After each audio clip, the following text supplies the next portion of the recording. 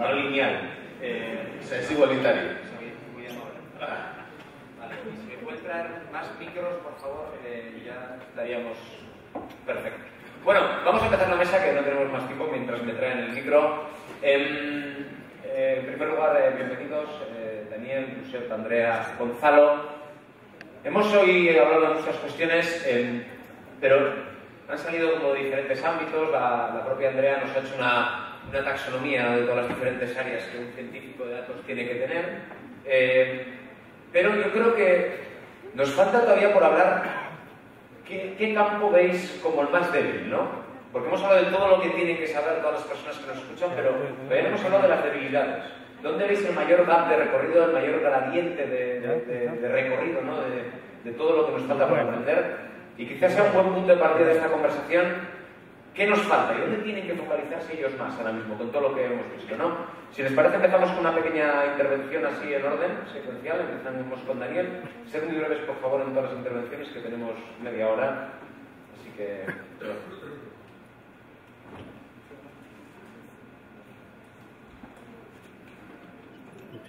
No, listo. Eh, para mí creo que la, la, mayor debilidad que tenemos en Analytics está muy bien ilustrada por la presentación de Marcela. Es que si recuerdo el proyecto que hicimos allá a nivel de desarrollo de modelo, nos demoramos que 6, 7 semanas no más. Mientras toda la implementación fue una implementación de cambio radical de la estructuración de la empresa, de integración en proceso y son todas esas partes que tenemos una tendencia en olvidar del lado analítico nos enfocamos en algoritmos sin entender que no es un cambio, es un cambio de transformación organizacional. Y es una parte que falta mucho en muchos departamentos de, de analytics. Somos demasiado técnicos y no nos damos cuenta que nos toca colaborar con la parte de negocio. Nuestro trabajo es más un trabajo de convencer y buscar a los aliados que creen en nuestras iniciativas y van a liderar este cambio organizacional que no nos corresponde, pero que típicamente es la peor barrera que tenemos para lograr implementar modelos.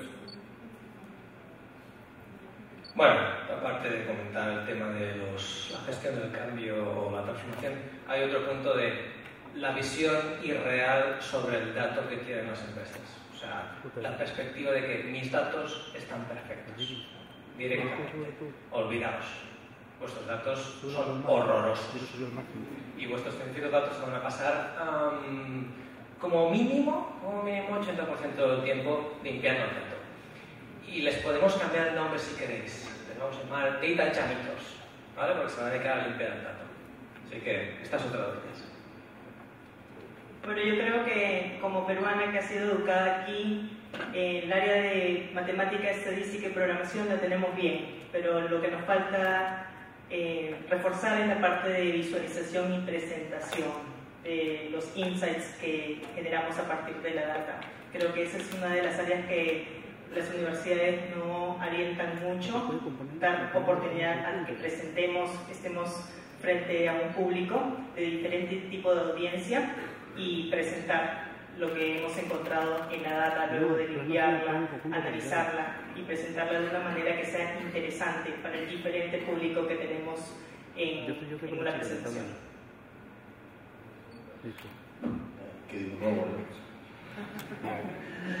Eh, yo, yo, yo fui un pésimo estudiante de matemáticas. Eh, solo me consoló un profesor que me dijo que con respondía a la reprobaba el cálculo, eso era ser matemático. Pero recuerdo el día que descubrí lo que era una derivada y me quedé fascinado. El día que entendí lo que era una derivada. ¿Por qué os cuento esta historia? Eh, yo, por el trabajo que hacemos, contratamos muchos perfiles, ¿no? periodistas, financieros, etc. Y puede ser un defecto, los tiene el sistema educativo español. Pero me, me sigue dejando muy intrigado porque nadie sabe calcular un porcentaje. Entonces, esto que lo llevo que hemos hablado de cambio organizativo, transformación muy fuerte que está pasando, pero hay mmm, cohortes enteras de personas con un pensamiento analítico pobre.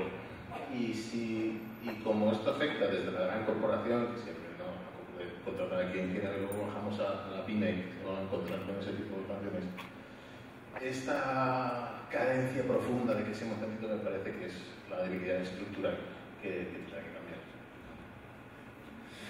Bueno, pues muchas gracias por esta primera ronda. Eh, naturalmente podéis discutir entre vosotros, eh, que es una mesa de discusión. Vamos a seguir con algunas de las preguntas que he ido recopilando, de lo que habéis ido trasladando, eh, tanto por Facebook como por Twitter. algunos citan muchos términos, ¿no? Hoy hemos hablado de Deep Learning, de Machine Learning, de procesamiento de lenguaje natural, de Visual Analytics. Hemos empezado a meter muchos términos. Realmente, ¿qué, tiene todo eso de, fondo? ¿no? O sea, ¿dónde está un poco el valor y, qué, creen realmente que va a transformar la manera en la que las organizaciones hacen las cosas? ¿Estamos hablando de lo mismo? ¿Estamos hablando de diferentes cosas? ¿Se tienen que especializar en uno de esos campos? ¿Se puede manejar todos esos campos en el orden que quieran?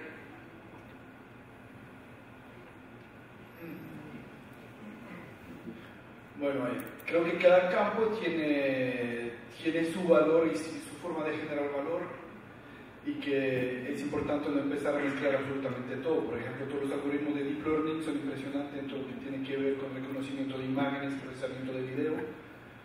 Y de pronto son los algoritmos que más impacto van a tener en nuestra vida por la capacidad que tienen de automatizar cosas que no se podían antes todos los algoritmos que, que, Google está desarrollando para tener un carro inteligente, los mismos desarrollos que se están haciendo en la China, van a tener un impacto absolutamente profundo en nuestra vida.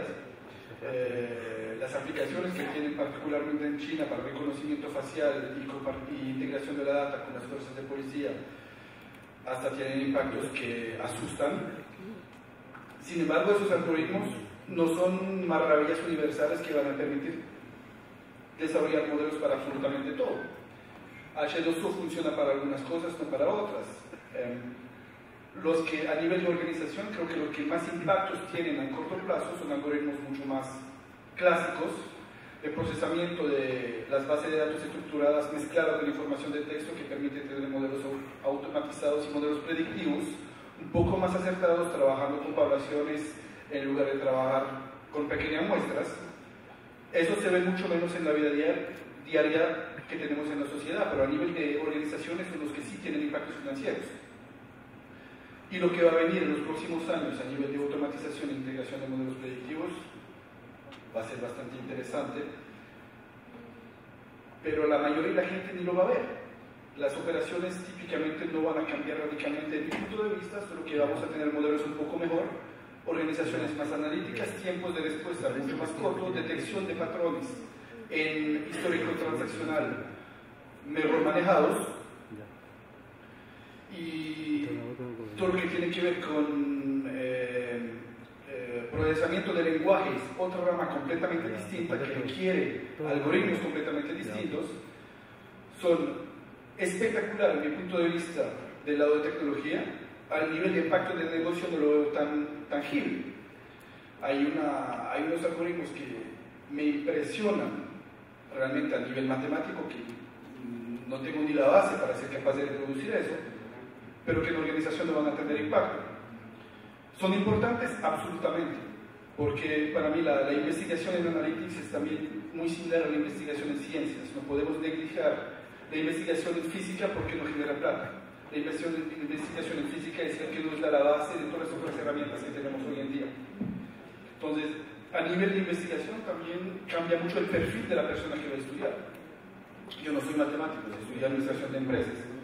Entonces, no hay que preguntarme si soy capaz de mejorar una red neuronal, absolutamente no soy capaz de usarla.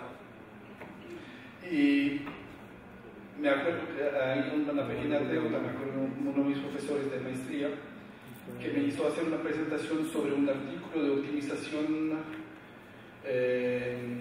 ¿cómo era? Optimización no lineal en espacio abierto. No entendí ni la mitad. Entendí esa declaración de variable y luego Y a la presentación le fui a hablar y me dijo, profesor, que no entendí nada. Y dije, no te preocupes, para eso te lo digo. Querías meterte en un campo de investigación que no te corresponde. Entonces, hay un espacio para absolutamente todo y es importante detectar de todo lo que nos interesa donde realmente queremos meternos. Es que el campo de data science es muy amplio. La integración de algoritmos en la sociedad es tan valioso como el mejoramiento de algoritmos.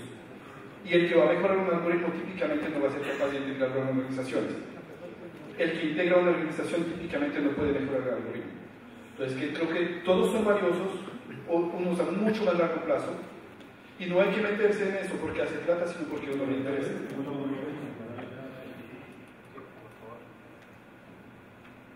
participar o, o salto ya? Salto, salto. Perfecto. Um, ¿Quién está hablando? hay, una, hay un punto muy interesante en todo esto, que es, y ahora voy a ser crítico, hay muchas empresas que están aplicando más sus algoritmos directamente. Y los están aplicando suficiente base matemática. Ya está. Desafortunadamente, traer los algoritmos y traer la analítica en el contexto de la empresa supone que entramos en el contexto de la ciencia. Y hay un teorema, es que yo soy matemático de formación, y ahí está el problema, que dice que no existe un algoritmo que pueda resolver todos tus problemas. Uno de mis clientes, la primera pregunta que me hizo es. ¿Hay un algoritmo, por casualidad, que me... ya está, con ese me aprendo?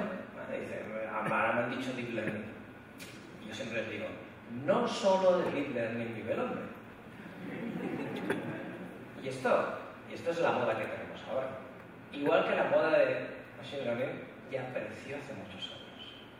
Y ya llegamos a un punto que no pudimos desarrollar nada más. Y, no sé si se habló, que me estaba saltando unas cuantas veces porque tenía charlas con, con algunos de vosotros, pero y estamos hablando de, de la computación cuántica de que se iba a resolver problemáticas. Y sabéis que era muy interesante que se ponía un ejemplo que decían, los sistemas de recomendación, que hablaba esta mañana, y algunos de vosotros habéis escuchado, eh, la computación cuántica permitía resolver mucho más rápido los sistemas de recomendación. Bueno, pues con el enfoque tradicional, un estudiante de PhD que le dijeron, hey, demuestra que realmente no se puede hacer pues ha demostrado que sí que se puede hacer. ¿Qué quiero decir con eso? Que vivimos momentos muy interesantes que suponen un reto brutal para las organizaciones porque requieren de la ciencia. Y ahí es donde muchas soluciones van a fracasar de manera sistemática si no incluyen estos perfiles. Con lo cual, bueno, preparaos a entrar nerds uno detrás de otro en la empresa para que ayuden y para que realmente lleguen a ese impacto y no se equivoquen en la aplicación. Porque vais a pensar que aplicáis algoritmos correctos, vais a hacer, ejecutar acciones correspondientes a ellos, no van a funcionar, ¿vale? Y entonces, bueno, van a empezar los festivales de no creemos en la analítica. Bueno, sí que hay que apostar, pero no va a ser fácil. Bueno, yo les cuento el caso de los alumnos que ingresan a la maestría en la primera semana quieren ver los tópicos relacionados a Deep Learning, TensorFlow, Hadoop, incluso Hadoop. Y son estudiantes que ni siquiera muchas veces dominan lo que es una regresión logística. Entonces creo que es muy importante dominar los fundamentos, incluso la regresión lineal, antes de poner a corrernos y tratar de entender lo que hace una red, una red neuronal a, a comparación de un algoritmo simple como un decision tree.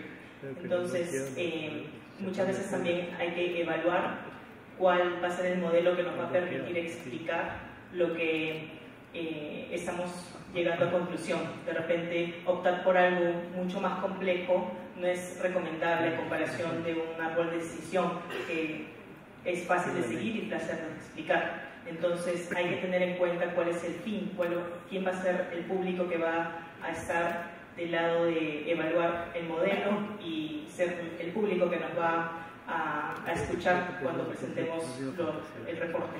Entonces creo que eh, los fundamentos de, estadística son algo que debemos enfocarnos en dominar antes de, recurrir a los algoritmos más complejos que han nombrado hoy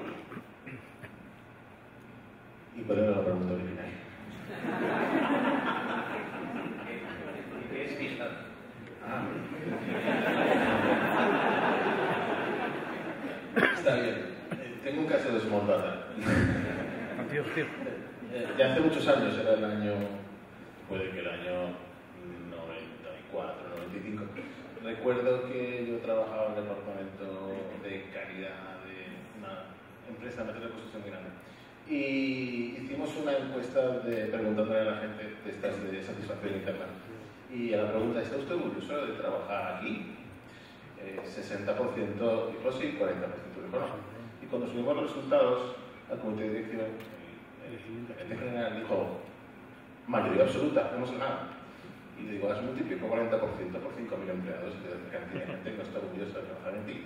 Bueno, este señor es ingeniero civil. Entonces, volviendo un poco a lo que estábamos hablando, es no solo hay que saber matemáticas, algo ocurre con la comprensión de los datos, la cantidad de datos que tienes cómo los interpretas. ¿no? Entonces, como estamos en un momento de cambio acelerado y nos lleva mucha filosofía a todos, pues eh, sospecho que ahora mismo eh, el reto de todo el mundo es que no se es capaz de comprender lo que se está haciendo.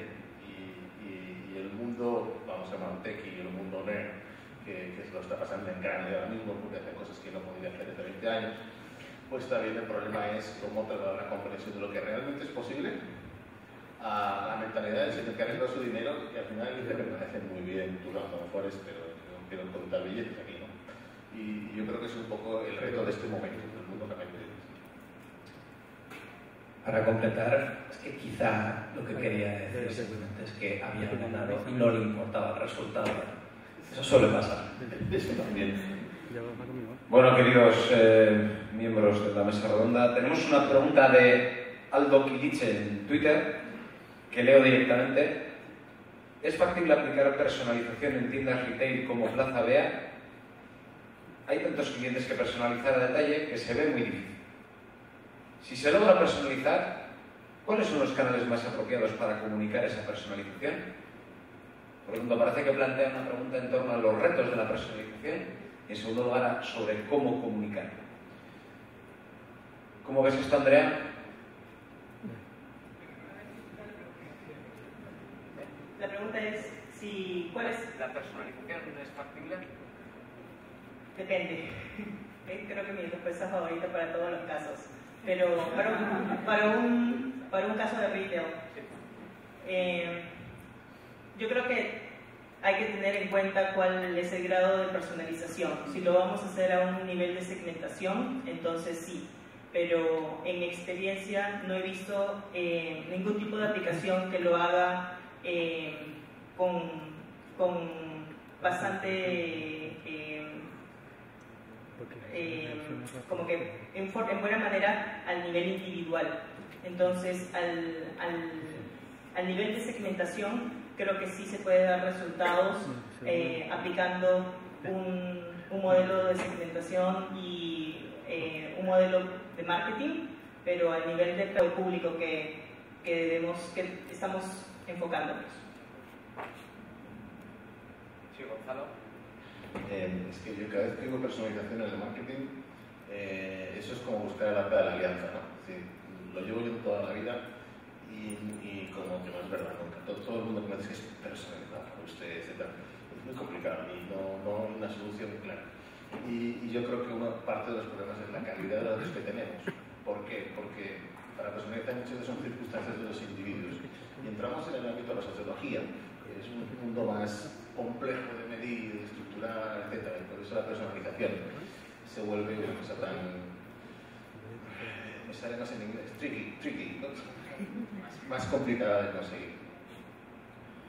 Bueno, creo que también hay que ver lo que llamamos personalización. Me llevan tres casos que yo podría considerar como personalización. El primero lo que hace Amazon, que es aplicación de collaborative filtering que le da una sensación individual a cada uno que recibe algo que le corresponde bien en función a la frecuencia de uso que tuvieron los otros usuarios de los productos que miran.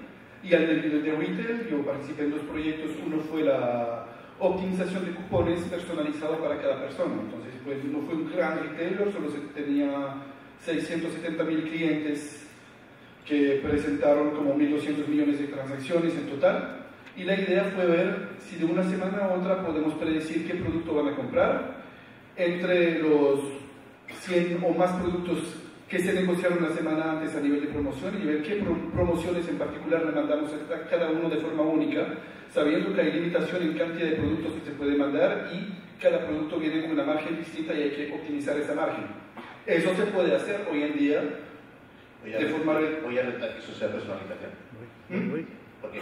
Porque Amazon me sigue mandando publicidad de productos que ya he comprado. No, porque yo uso la de compraste la semana pasada. Lo que la hablamos es que la personalización es muy complicada porque la información es insuficiente. Y eso sigue siendo así, a pesar de que hacemos todo eso. Entonces, entonces eso es lo que yo creo que es complicado. Obviamente las opciones de hoy son infinitamente mejores que las que hemos tenido, pero que la personalización real, que al final es un término subjetivo para cada uno, ¿no? Eh, ¿por qué me ha personalizado a mí en este momento, en esta situación que más tengo ahora? Esto creo que sigue siendo realmente complejo. Y lo estamos viendo con la publicidad programática, es que vamos a decirle que no lo que quiere, no, el problema está la calidad de los datos, no sabemos lo que realmente quiere. No, no es tanto un problema con la media técnica que es hora, es un problema de cómo sabemos el dato correcto. Sí, falta información claramente. Solo tengo una, una vista parcial que corresponde a mí, solo que es reaccional, es cierto. Pero volviendo a la pregunta del señor, si yo como negocio estoy tratando de mostrar personalización, yo creo que si logras una definición de producto y una funcionalidad correcta de Google Ads, él mismo se sentirá personalizado y además lo transmitirá. Entonces, más la comunicación ya viene por la propia prestación que tú das.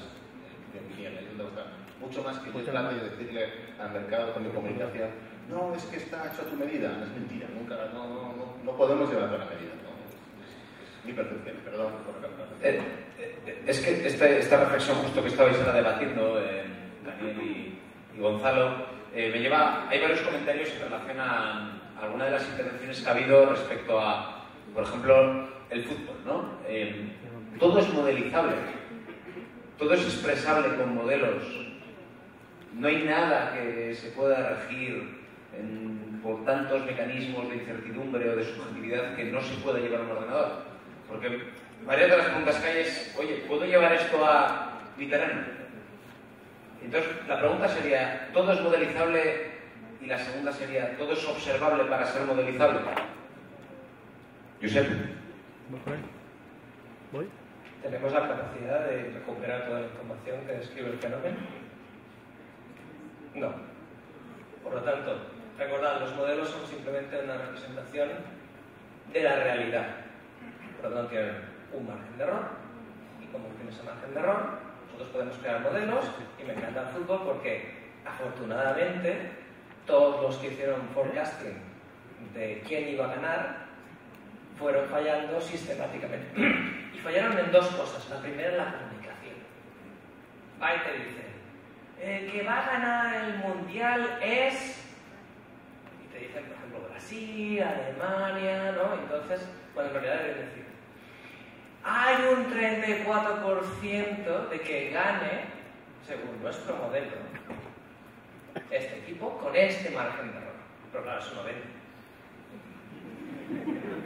¿Vale? Quieres vender. Recuerda, ¿eh? hay que vender la idea, hay que venderla con solidez. ¿vale?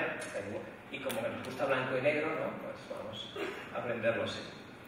Los modelos tienen márgenes de error y tenemos que empezar a trabajar con esa incertidumbre de que hay momentos en los que podremos describir la realidad porque se ajusta ese conjunto de datos a lo que es la realidad y hay momentos en que no servirán para absolutamente nada. Y las organizaciones, los profesionales, tenemos que estar preparados para jugar las dos ligas. La liga en que nos apalancamos completamente del modelo porque funciona y fuera. Y uno de los problemas que va a pasar es que vamos a apalancarnos completamente en modelos y un día fallan. ¿Y qué va a pasar ese día? Que diremos que vayan como las encuestas políticas. Ahí está. Pero, Y el Brexit. pero como tampoco hay evento de Data que no se hable de Nate Silver, ¿no? pues todos recordamos cuando dijo la prensa, después de la victoria de Trump, el problema de la prensa es que no entiende lo que es la incertidumbre, ¿no? y entonces aplapa un poco su conciencia. Pero hemos tocado con la prensa que tiene un modelo de negocio que le obliga a banalizar y a decir lo que va a vender, porque necesita clics. ¿no? Bueno, vamos a ir cerrando ya esta, esta mesa. Eh, entonces, ¿creéis que hay algún viso de poder algún día observar más? ¿Hay alguna tecnología? Porque han salido algunos de los términos por acá, hemos hablado de IoT, hemos hablado incluso de blockchain, que ya empieza a ser preocupante, eh, todo lo que se dice. estamos hablando de drones, o sea, parece que estamos digitalizando tantas cosas de nuestra sociedad que puede que haya todavía más datos. ¿Llegará algún día en el que tengamos todavía más capacidad que ahora? ¿Creéis que hay alguna tecnología, algún hardware que, que va a hacer que observemos más de lo que ahora hacemos? Creo que. Claramente la, la, cantidad de datos que estamos capturando está absolutamente explotando y todo eso se puede convertir en una fuente de información. Ahora, lo que sí va a ser problemático, al menos para modelizar y que es una buena noticia a nivel de protección de la vida privada, es que todo viene cifrado. Eh, por ejemplo, hoy en día en Telecom, hacer un modelo correcto se vuelve mucho más difícil porque la gente ya no llama. Antes era muy fácil ver quién está relacionado con quién, porque yo podía ver a quién está llamando, desarrollar redes sociales de amigos, determinar quién es un líder. Era relativamente sencillo. Hoy en día todo pasa por WhatsApp. WhatsApp está cifrado, yo no sé quién se comunica con quién, el único que lo sabe es Facebook y él integra toda la información. Facebook hoy en día está capturando más información sobre nuestra vida que lo imaginamos y no, no, comparten absolutamente nada. No tenemos acceso a algunas información de los likes, pero realmente sobre las interacciones entre las personas perdemos todo eso como observador externo. Entonces, existe la información, el problema va a ser quién la comparte, quién es el dueño, quién autoriza el uso. Entonces, hay esos dos retos que vienen. De una parte, sí, la información va a ser mucho más amplia, todo lo IoT, estamos capturando todas las informaciones, técnicamente saben dónde voy, con quién me encuentro, está capturado por la dirección IP de mi teléfono que me identifica perfectamente cómo me encuentra Gmail, todo se sigue.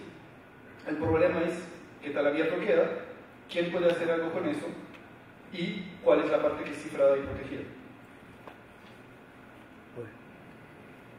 A ver, estamos creando jardines de datos. Tienes el jardincito de Facebook, tienes el jardincito de Google, el jardincito de Amazon y a continuación. Y esos jardines tienen puertas. Entre, ya sabes, el tema es decir, vale, no tengo datos, lo compro a otro. Se lo compro o hago mecanismos para conseguirlo. Ya sabéis que hay un mercado negro de datos fenomenal. El que quiera tener una cuenta de Netflix, esto lo estoy grabando, ¿no? Ilegal, vais al mercado negro, pim pam, y conseguís una cuenta por nada, por 5 dólares, infinita para siempre. Funciona así. Por lo tanto, hay un mercado de datos muy fuerte que hace que algunas empresas se dediquen a eso. De hecho, ya sabéis, ¿eh? hackeos cada semana. Y no uno, sino varios. ¿Por qué? Porque si conseguís los datos, tenéis datos de los competidores. Por lo tanto, tenemos esos jardines, pero quizá no son los únicos que hay. Y atención con todo eso. Es decir, y aquí entraremos si es legal o no es legal, pues que esos datos, eso ya os lo dejo vuestras empresas en función de los valores éticos que tengan. Sí, sí, es Yo, yo no sé, como, como, como adivino soy muy malo, casi todos, pero eh, como soy un poco mayor, yo creo, eh, fue en el año 99-2000 y algunos de aquí yo creo que lactantes. Eh, se produjo, se produjo la, la famosa, el famoso estallido de la, de la, primera burbuja, y si no se está hablando de la segunda burbuja, la segunda burbuja, ¿dónde está la segunda burbuja? Y el asunto es que una, una empresa muy famosa que, que quebró, que se llamaba WooCommerce, fue la primera gran tienda que quería vender un modo online. Y entonces se concluyó, es imposible vender ropa por internet. Y ahora vamos a la realidad de cómo crece el comercio electrónico en todas sus dimensiones y en el mundo de la moda es espectacular. Entonces es difícil saber, porque detrás de todo eso había un problema de infraestructura. Y es que para vender la ropa hace falta buenas fotos, buenas imágenes y el ancho de banda. No funcionaba bien para descargar todo bien. ¿no? Entonces, yo qué sé lo que será posible, probablemente todo. ¿no? Yo creo que de todas maneras el cambio que se ha visto en los 10 últimos años en, en en el área de Data Science ha sido espectacular. Creo que eh, hemos tenido que aprender un montón de, de, herramientas nuevas y de todas maneras el campo va a cambiar. Eh, estoy segura que en cinco años las herramientas que estamos usando va a salir algo nuevo, ya está saliendo y vamos a tener que, que seguir aprendiendo todas estas herramientas. Bueno, no sé si alguna persona quiere aprovechar la ocasión para trasladar ¿Alguna pregunta a nuestro cartel de lujo? Se ve que iba a pasar en algún momento. Pues si no tenéis ninguna pregunta, les vamos a pedir. ¿Has levantado la mano? Ah, sí, vale, perdón. Eh, eh, eh, si podéis hacerle llegar el micro al compañero.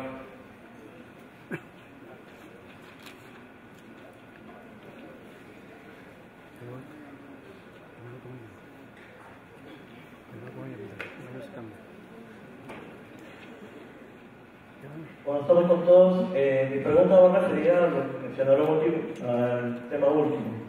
Eh, si bien es cierto, bajo la creación del nombre uno puede realizar cualquier, vamos a decir, este, el nombre siempre se reta a través de los tiempos.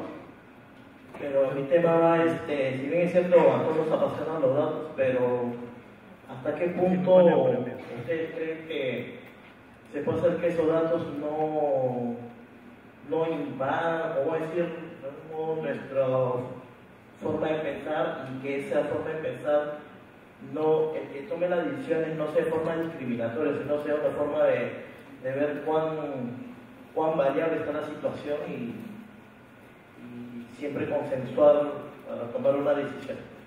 Les pongo un ejemplo, no sé si por decir, este, yo lo que leí hace tiempo en un artículo era de que, eh, por ejemplo, yo tengo una empresa en Estados Unidos. Si yo veo que mis ventas en Estados Unidos, o por ejemplo, esa empresa tiene sucursales en Latinoamérica, África, Europa. Pero si yo veo que mis ventas, más, este, vamos a decir, donde yo gano más dólares en Estados Unidos, y toda mi vida, toda la tecnología se centra en Estados Unidos, solamente veo que mi potencial de datos solamente se concentra más que en Estados Unidos, porque veo que es donde mayor y, puedo discriminar la otra información que tengo en Latinoamérica, África, no sé, Asia. De aquí otro modo, como digo, que se puede, ustedes creen, se puede cambiar ese paradigma.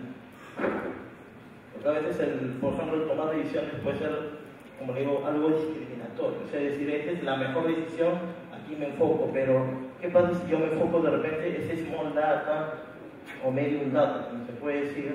También de repente puede ser más interesante que ese, ese conglomerado de data mayor que yo pueda tener aquí.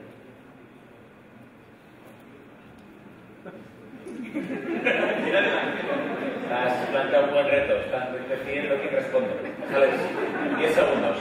Vale, muy, muy, muy fácil la respuesta, ¿eh? y así cortamos rapidito.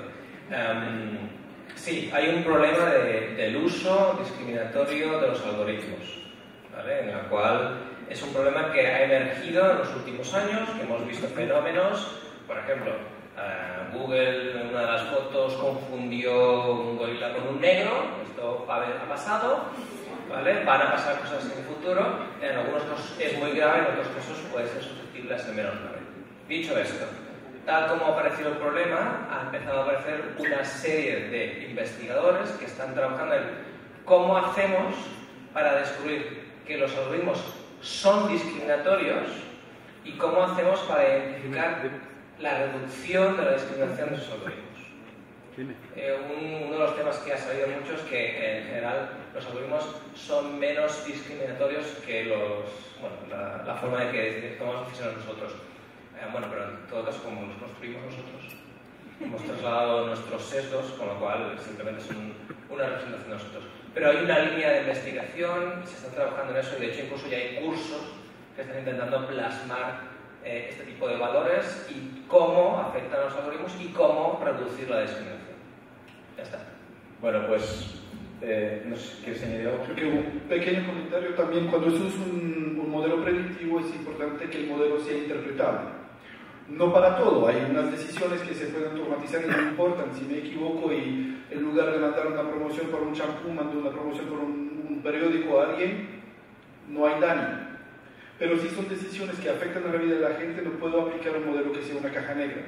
Si no puedo explicar a nivel de registro por qué el modelo hace una recomendación, no es un algoritmo que sería usable de forma ética, porque después me pueden explotar realmente a la cara. Pero si puedo justificar después por qué estoy tomando la decisión, el problema ya se reduce por lo menos. Todavía no hay ningún modelo que va a ser perfecto, por definición un modelo es malo, solo que se equivoca un poco menos que cuando no hay modelos. Y hay que reconocer que a veces el modelo se equivoca y, tomar mediciones para poder controlar eso. Bueno, pues muchas gracias eh, Gonzalo, Andrea, Josep, Daniel. Les damos un fuerte aplauso a nuestro...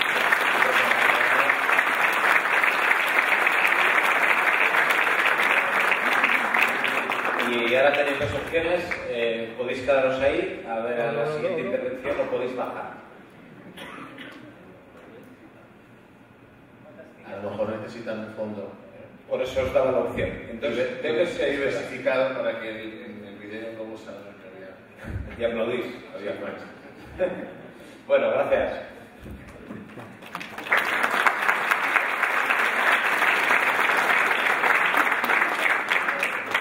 Bueno, y vamos a... eh,